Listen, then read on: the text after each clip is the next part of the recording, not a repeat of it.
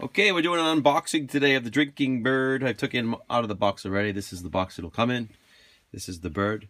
You'll have to adjust this thing, his midsection here, once you place him in, to make sure he bobs correctly.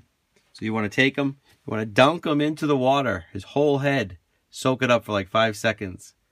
This is the whole key to the drinking bird. If he's not wet enough, it's not going to work. Then you want to place him in here, as so. And you're going to have to see how he's going to. You want to make sure when he dunks that he is going to dunk all the way and soak his beak every time he dunks. Now this guy's been running for a while now, so he's drinking some of the water. He doesn't drink it, he absorbs it. That's the key. You got to constantly keep the cup full of water so that he keeps absorbing water. Otherwise it won't work. You can see the liquid is coming up slowly this will make him fall down, and then he'll go back down. The whole process starts again.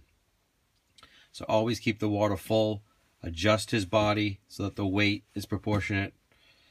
And make sure he's going to be able to dunk his beak fully into the water as well. If you have any problems, we guarantee 100% that it'll work. If it doesn't, just send it back for a refund and we'll send you a new one. Okay, thank you.